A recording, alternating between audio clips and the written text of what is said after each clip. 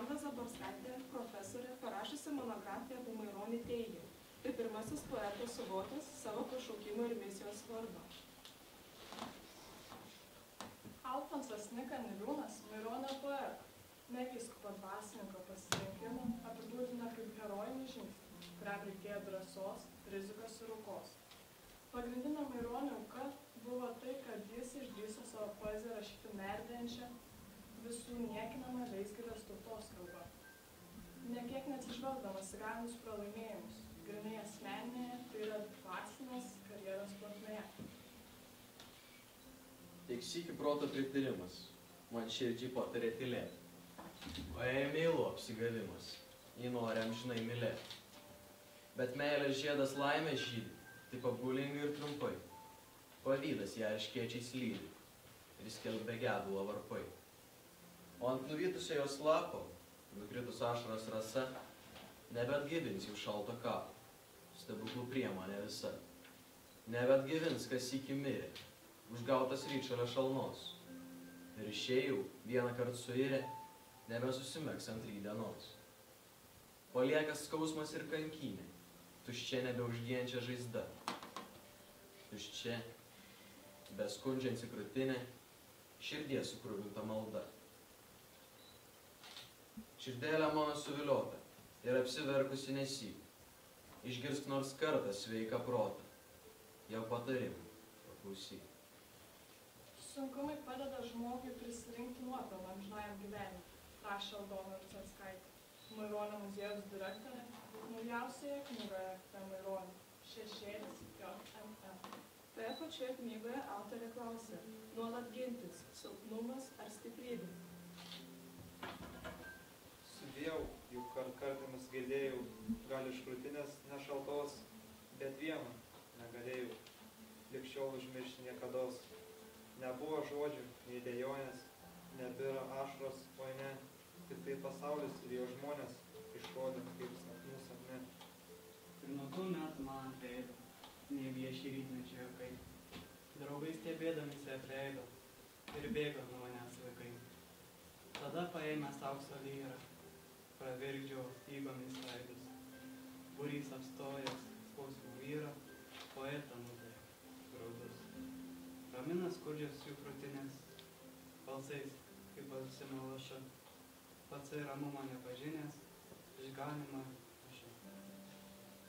Poeto poezijos temos vienas svarbiausių centrų yra eilėraštis poezija, parašytas 1909 metais. Jau patyrusio poeto ranka. Šis eilėraštis pradeda ketvirtą pavasario balsų leidimą. Renkas paties Maironį. Čia ryškiausiai atskleidžiama kūrėjo būtis, grožio paslaptis. Poetas yra išskirtinis asmuo, gebantis jausti, skaityti be rašto. Jam atidengiamas grožio paslaptis, širdžiai duodami stebuklingi žodžiai. Pausiai dainos. Dainos. Tokios svarbios visoje Maironio poezijoje. Reiškia garsą, toną, melodiją. Tarsi pasakoma pati poezijos esmė - žodžio ir melodijos skambėjimo ryšys. Išvydau ją, kai vakarinė žvaigždė skaičiai dangos mirgėjo. O Mario erdvė begalinė nuo pilno mėnesio viskėjo. Gamtos ramumo ir svajonės Zefyro nedrumstė dvelkimas. Ramiai ilsėjo Padangiai skrido serafimas. Išvydau ją ant marių krašto.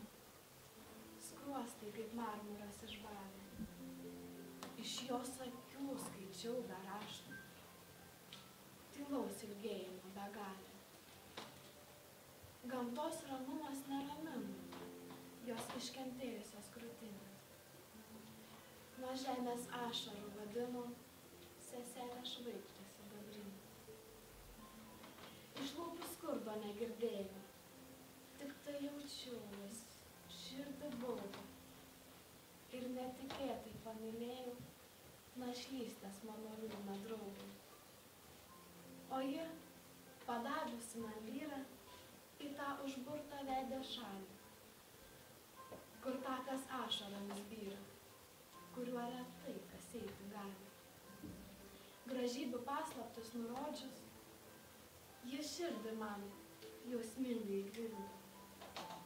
Jei stebuklingus davė žodžius ir ausį dainomis pripildė. Gražus regėjimas prapuolė ir kraujas gyslose sustingo. O vis negali širdis varguolė užmiršti veidą stebuklingą. Teisus buvo Maironis teikdamas, už darbą nelaukiu kaip tarnas algos. Nei deimantas spindinčio žiedo garbės, manoji žvaigždė bet ir be to atžydės. Ir visai nesvarbu, kad poetas lėgėjo paties supiltas kalnas. poeto paslaptis, jausmus, dėjoja kritikai perėti. Uždavinys mat įdomus, aikštant autentiškai išdėti. Išvilkę žmogų akise prieš sočiai žiovančią minę, prekiauja gyva jo dvasia, įrodo perkėlę šaltinę. Išplėšę žingeidžiais kabliais, jo širdžiai atjusa ramybę. Neklaus ant kūną kaulų leis paliesti savo šventenybę.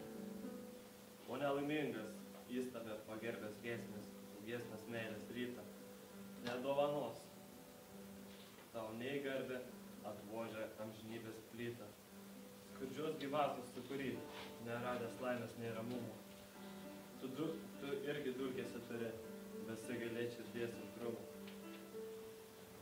Rašyta poeto misija anot Tomo Venclovo apibendrinti tautos patirtį, jos išgyvenimus. Rašytojas pagal Maironį yra charizmatinė esybė, šauklys ir pilietis, pilnutinis ir harmoningas žmogus, kuris suvienyje priešybės